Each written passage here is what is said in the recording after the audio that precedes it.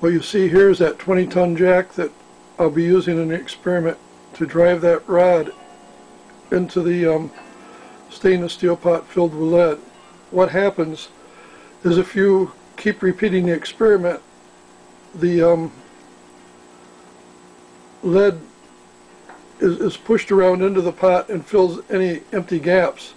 And so that, that rod keeps moving further into, into the lead.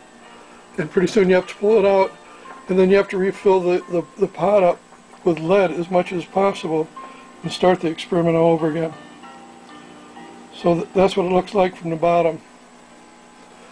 Now, this plate, if you look at it here, you, you, you'll notice that it's curved up for toward the bottom of the jack. There's so much pressure here that even though there's boards on the bottom on top of this plate, that it still bends the plate. That's a quarter inch, just plain steel plate welded to stainless steel straps on either side. I'm going to pull it out.